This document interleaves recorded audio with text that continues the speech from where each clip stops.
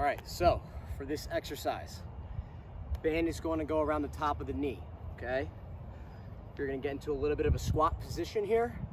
And then what you're gonna do is you're gonna allow one of the legs to internally rotate while this one stays nice and still and come out and fight out against it. So let that knee come in, come out. Let that knee come in, rotate out. Let that knee come in, rotate out.